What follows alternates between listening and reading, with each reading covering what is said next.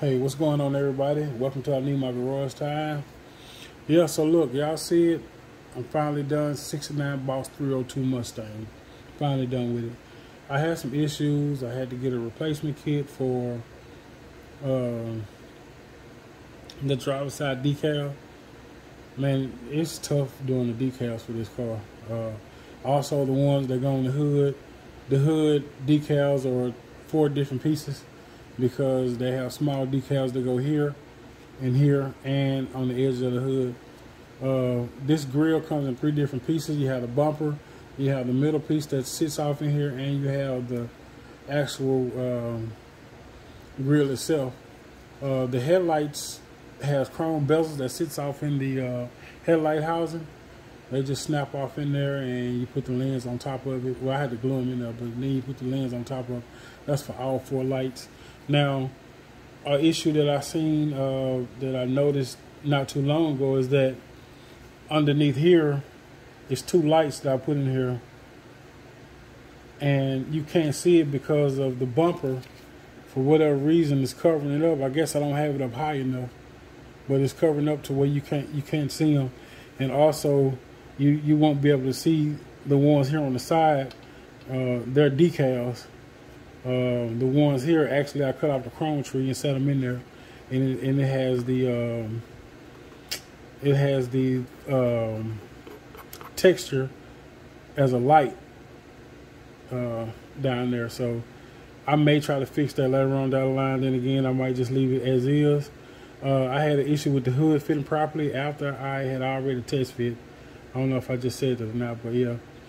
So uh, I had issues with the decals with the uh, for the interior for the uh, dashboard.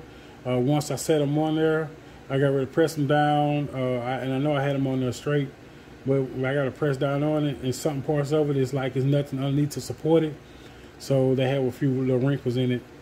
Um, this part, uh, the let's go back to the wheels. So the wheels uh, I did with the Tamiya accent paint. I just put a couple drops in, let it dry, let it sit 45 minutes, let it dry, and I went along with another uh, couple of drips, and I just let it dry. I did a Molotow pin around the windshield, uh, the windshield wipers, the doors. I didn't, I didn't, I wasn't too heavy with it here. The door handles have chrome, uh, the silver sharpie marker.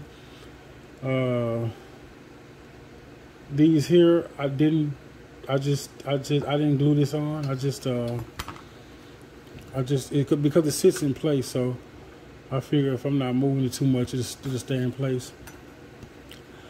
The hood, uh, the spoiler, and the trunk was uh, all did with um, with the Rust-Oleum flat black. This spoiler is on backwards. The legs are on right. The spoiler, the spoiler just turned backwards. Uh, when I noticed it, I just, I didn't even, uh, I didn't even mess with it. The tail lights, uh, they're hard to see because it's supposed to be chrome in between, like on the uh, box art. And I didn't notice that either until I had already, uh, see that has chrome in between, in between it. I didn't notice that until after I had already put it together, so it's cool. That's my first time doing a uh, kit outside of General Motors, so uh, this come off the chrome tree. It just you glue that in there. Uh, this Mustang here was already uh, molded into the body, but it all, but it had a silver decal to go over it. The tailpipe tips I did with the uh, chrome Molotow marker, and I also have a piece here. I think these are supposed to act as reverse lights uh, here, and it was here. One of them came out. I got to figure out what happened to it. Uh, got to figure out where it's at. Um, let me plug this in right quick. Okay. Um, I have my garage time plate. I didn't really have no more trouble out of the body after I painted it for the last time. Like I said, I had trouble with the grill fitting and also the hood. I broke a hood hinge. Broke it off, trying to make it fit, but that's okay. Let me um, take the hood off and show you guys this engine.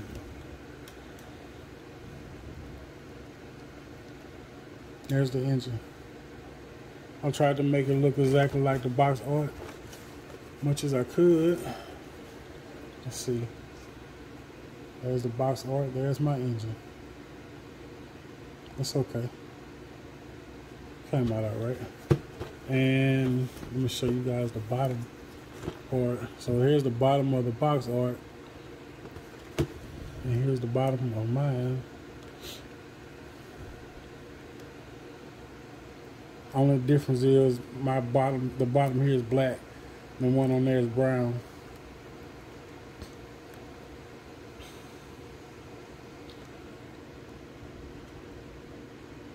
Yeah, so let me see if I can show y'all a little bit of the interior.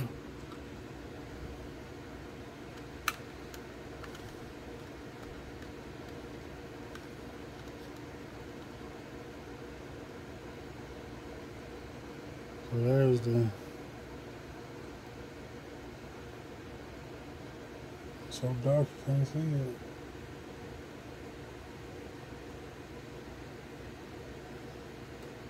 There's the console, steering wheel. There's a little bit of the dash you can see. Anyway, yeah, let me put this in 360 right quick so I could uh, show you guys the rest.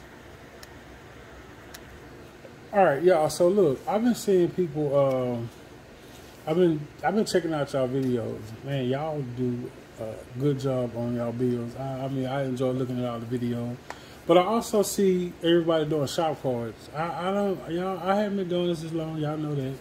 But I want to know more about the shop cards. Uh, what's the purpose of them? You know, they look cool. I would like to make me some, but I don't know the purpose of them. Is it just to send the people? Y'all let me know. Comment below and let me know. Um. Um.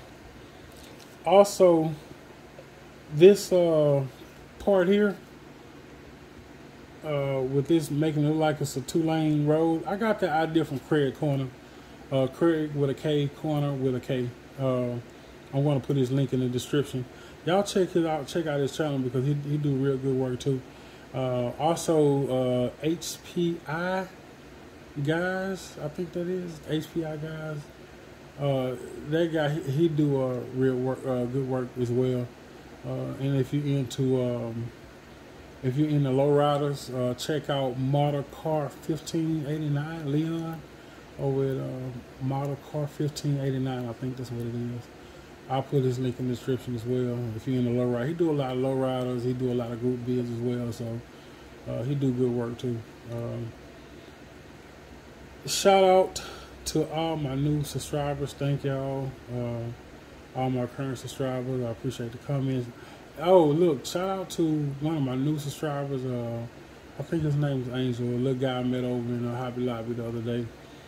Um, he uh, getting into building. Uh, I think he told me he done two kits already, so he was over there looking at the kit and I was talking to him.